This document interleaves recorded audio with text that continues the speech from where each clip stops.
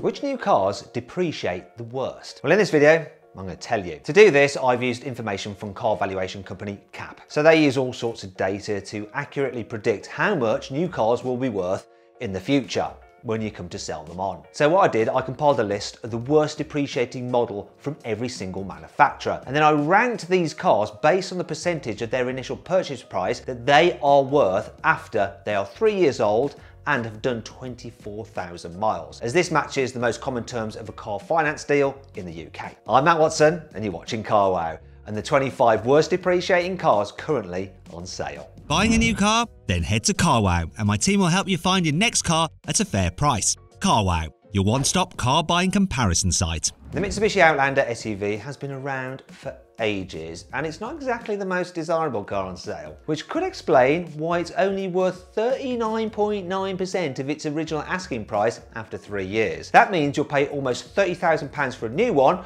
but you'll lose more than £17,000 when you come to sell it after three years. That's more than 60% of the original price that it's lost. Oops. The Renegade is the smallest car that Jeep makes, but it's also the one that drops by the largest percentage of its purchase price. After three years, this funky looking SUV is only worth 39.7% of its original asking price. You can actually buy a new one for a little over £23,000, but get ready to lose almost £14,000 or more than 60% of the initial value when you sell it in three years' time.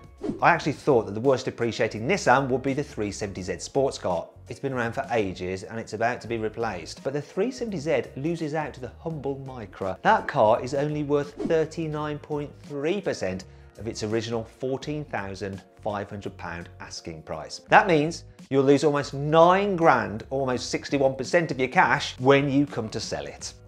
Big drop for a small car. The Alfa Romeo Giulietta is really getting on now. It's been around for 10 years. And this could be part of the reason why a three-year-old Giulietta will only be worth 39.1% of what it cost when it was new, which is £22,500 if you buy one today. So that means you'll be losing more than £13,000 when you come to sell one on, which is almost 61% of what you'll originally have paid for it. McLaren makes loads of really exclusive supercars such as the Speedtail, the 765 LT and the Elva. Trouble is, this means that normal McLarens get forgotten about. And this could explain why the humble 570 GT is only worth 39% of its recommended retail price after three years. A new one costs more than £157,000, but you'll lose more than £95,000 or 61% of the cash you originally spent on it when you come to sell it. Now I wonder whether McLaren's questionable reliability record has also affected the car's value. The Volkswagen Passat is a very good car, but it's not exactly exciting. And this could be why it's only worth 38.5% of its initial £27,000 recommended retail price after three years. So when you come to sell it, you'll be more than £16,000 out of pocket. You'll have lost more than 61% of the cash you originally paid for the car. Rolls-Royce makes some of the most expensive and exclusive cars in the world, but they are still hit with depreciation, especially the Dawn convertible. After three years, that car's only worth 38.3% of its £280,000 plus asking price. So you'll have lost a shocking £174,000 on it after three years. That's almost 62% of what you originally paid for it. Now, I wouldn't think that drag racing a Rolls Royce is to do much for its value either, but I went and drag race one, and I'll put a link to that video up there. If you click on that banner, you can go watch it if you want. The Suzuki SX4 S-Cross isn't the brand's most exciting car, and it doesn't hold its value very well either. This little SUV is only worth 38.1% of its £21,000 asking price after three years. So that means you'll be losing 13 grand, which is almost 62% of the cash you spent on it in the first place. The Galaxy is the biggest car Ford makes, and in this case, big applies to its depreciation as well. Buy a new Galaxy and it'll be worth just 38% of its £34,000 asking price. This means you'll be losing £21,000 or 62% in depreciation. Jaguar sneaks ahead of the Ford on my list, but not in a good way. You see, three-year-old XFs are only worth 37.8% of their original asking price. So if you buy one from around £32,500, you'll lose more than £20,000 when you come to sell it on. That's more than 62% of what you originally paid for it. The worst depreciating Hyundai you can buy is the i30 Fastback. It might look better than your average hatchback, but it's only worth 37.6% of its original RRP after three years. This means your £25,500 Hyundai will have lost you almost £16,000 or to put it another way, more than 62% of your investment. The Renault Megane is a perfectly good family hatchback, but it does a worse job at holding its value than any other Renault on sale. After three years, it'll only be worth 37.4% of its as new price. That means it's gone from a £17,000 car to one just worth six grand. You'll have lost £11,000 in depreciation, or 63% of the initial sale price. The worst depreciating Subaru you can buy is the Levorg, probably something to do with its stupid name. Anyway, this left field estate is only worth 36.4% of its initial value after three years. So it goes from a £35,000 car to one that's worth £22,000 less. You'll actually lose almost 64% of the money you originally spent on it. The Volvo S90 is also worth 36.4% of its original value after three years, just like the Subaru Levorg then. But the S90 is much more expensive. It starts at more than £55,000 and this means you lose more money overall when you come to sell more than £35,000 in fact.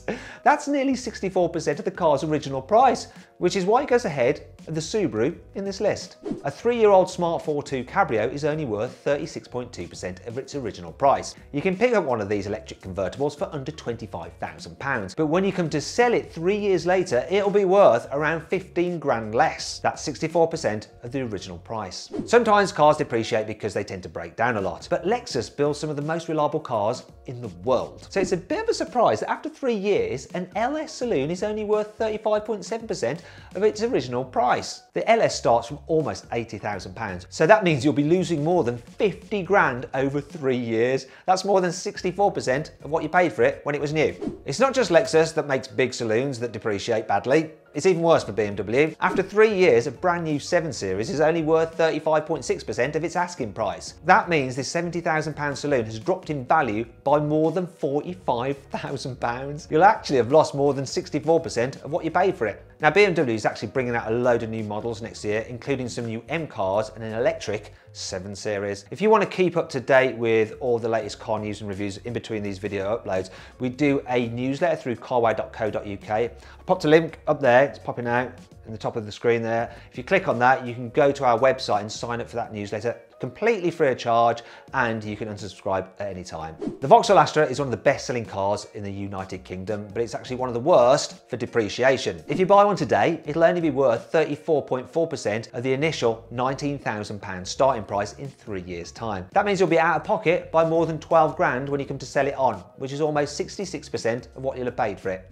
Bentley builds some of the most desirable cars in the world, but that doesn't mean they're immune from depreciation. The worst depreciating Bentley you can buy is the Mulsanne. This is the most expensive Bentley on sale, but it's only worth 34.1% of its £240,000 starting price after three years. That means you're down by more than £157,000 and you'll have lost almost 66% of what you originally paid for it. Now the Bentley is just going off sale and cars that are going off sale or about to replace have a hard time retaining their value. And that's exactly what's happening to the Mercedes SL. If you buy one of these Roadsters now, it'll be worth just 33 0.2% of its original price after three years. Now the starting price for an SL today is around £80,000, but you'll lose more than £53,000 if you buy one at full price and sell it, and that's 67% of the original value. Key thing with these cars though is not to pay the full asking price. You're going to want to get a discount, and if you want to see how much money you can save on an SL through CarWow, put a link up there, pop in out, top right hand corner of the screen, click on that. You can see how much discount you can get on an SL, quite a lot. Now we all know that MPVs are being phased out by SUVs these days, which is one of the reasons why there isn't much demand for a second-hand Citroen C4 Space Tourer. This seven-seater is only worth 32.6% of its retail price after three years. That means if you buy one for around £19,000, you'll lose out on around £12,500 when you come to sell it. This works out to 67% of the original asking price. Next up is another French car, in fact two of them, the Peugeot 308 and the Peugeot 108. After three years, both these cars cars are only worth 32.2% of their original price. That means if you buy a 108 for around £13,000 today, you'll lose more than £8,500 on it after three years. And if you go for a 308, which starts from around £22,000, you'll be almost £14,500 out of pocket after three years. For both cars, you'll actually have lost almost 68% of what you originally paid for them. The Quattroporte is the most luxurious Maserati you can buy, and you'll need somewhere comfy to sit when you find out how quickly it depreciates. After three years, one of these stylish saloons is only worth 32.1% of its initial asking price. So if you buy one from around £82,000, you'll lose more than 55 grand on it. That means it depreciates by 68%. It's a lot.